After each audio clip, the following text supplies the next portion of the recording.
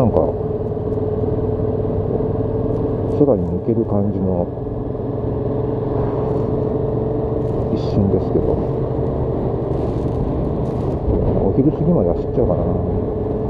あの朝ねエンジンかける時にねバッテリーが弱ってたみたいで非常に弱々しい感じでエンジンがかかったんでちょっと、充電させないといけないしバッテリー充電するあのなんとかっていうのを持ってませんので、まあ、バッテリー上がったらおしまいと。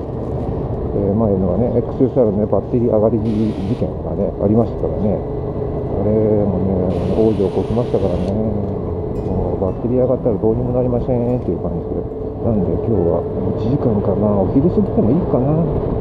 今日娘がね、あの体調が悪いんで、うちで、えー、レアとお留守番してるからっていう、ね、言ってたんで、我が子の心配をすることもないですし、どっちかっていうと娘の心配しろよ。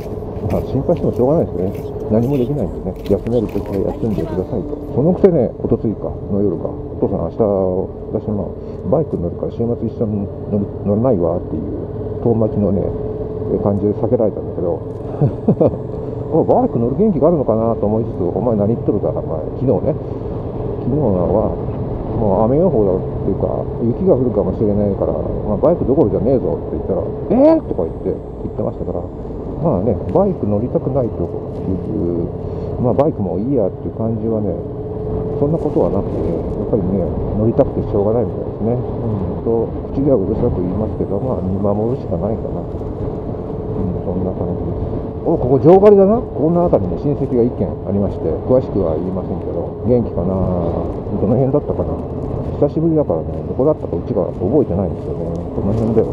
ああ、あったあった。これは無理だね。ここはカット。あなんか背中がね、張ってきた。あなんか疲れた。もう、もう疲れた。あのね、XSR に乗るとね、気合が入るのかな。こう、昔のね、えー、っと、若かりし頃ね、かっこよく自分では思ってるようなね、ライディングホームで乗ってた時期の、なんかそういう姿勢にね、無意識に自然にそうなってくるんですね。こうここんな感じになってくるね、こんな感じね。あれ、あの前方なんか、あんな住宅地あったっけ？ここも本当に、この道も本当に久しぶりだから全然、まあ、この辺の田んぼはあんまり変わってないけど、立ってる建物がなんか、こんな感じだったっけ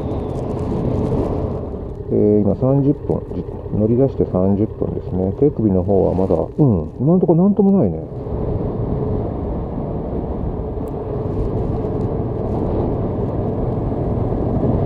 おまわりさん。おまわりさんであろうが、誰であろうが、道を譲ってくれたら挨拶。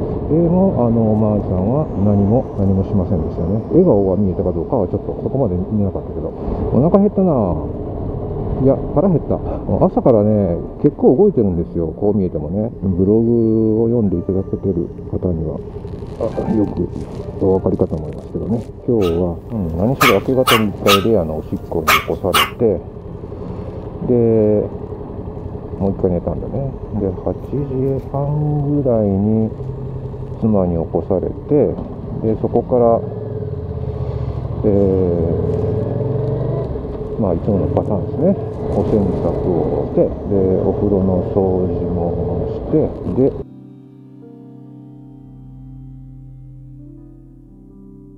しまったな。今日飲むものも全く持ってこなかったな。どっかで買おうかな。まあ、コンビニもちょっとね、入りたくないんで、あの、まあ、フルフェイスのヘルメットを取るのがめんどくさい。ここは、右に行って、あ、でもあそこすぐ降りちゃうんだったっけ？あ、ちょっと右に行ってみようかな。このバイパス、キルガードス昔の言い方？乗ってみようかな。これ、あ、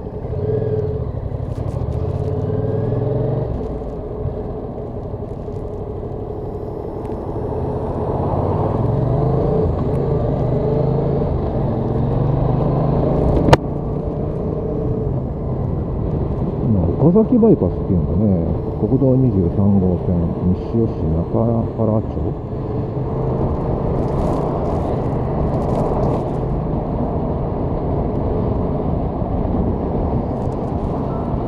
久しぶりに乗ったねここ。シュッ。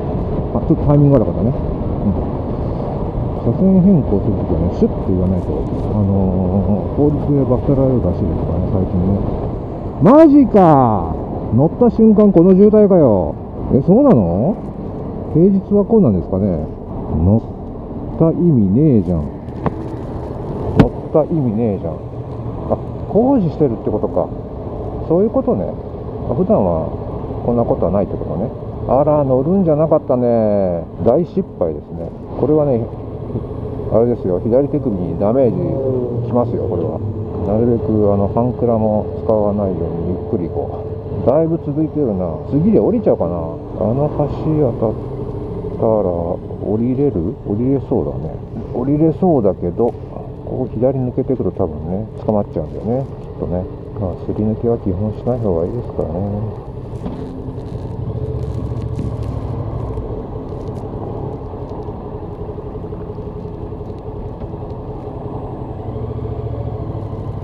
あの辺やって思ったか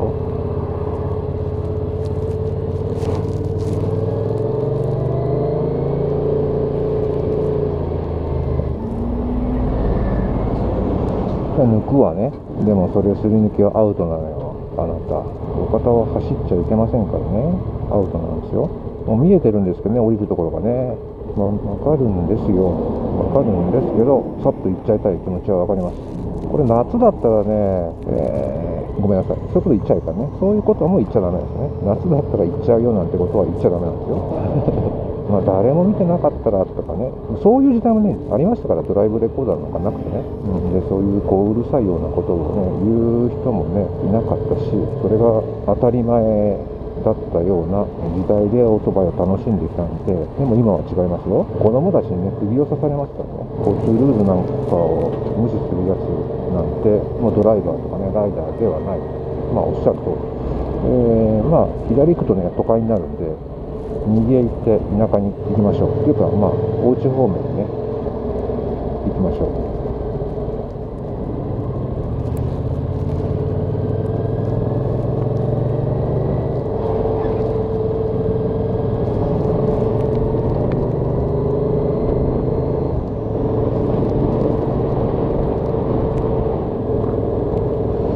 左へ行って山の方へ山を走るっていう手もあるんだけどね、まだ路面がね、山の方がきっと乾ききってないと思うので、どうしようかな。行ってみたいけど汚したくないっていうか、まあ行くか。